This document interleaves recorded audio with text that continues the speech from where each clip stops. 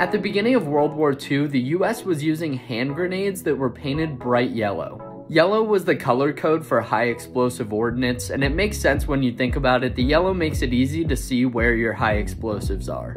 Unfortunately, that meant that the enemy could see those grenades just as well. Soldiers often clipped their grenades to the outside of their uniform where they were clearly visible. The purpose of wearing a green uniform in the woods is kind of defeated when you have bright yellow grenades all over you. This bright yellow color also made it easier for the enemy to see where the grenade was after it was thrown at them so they could run away from it or even throw it back. For this reason, they quickly started painting the grenades green with only a thin yellow stripe around the top so you knew that it was high explosives.